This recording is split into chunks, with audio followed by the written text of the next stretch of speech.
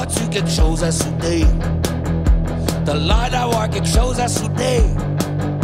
Ben moi quand j'ai quelque chose à souder, j'appelle Marc Boucher.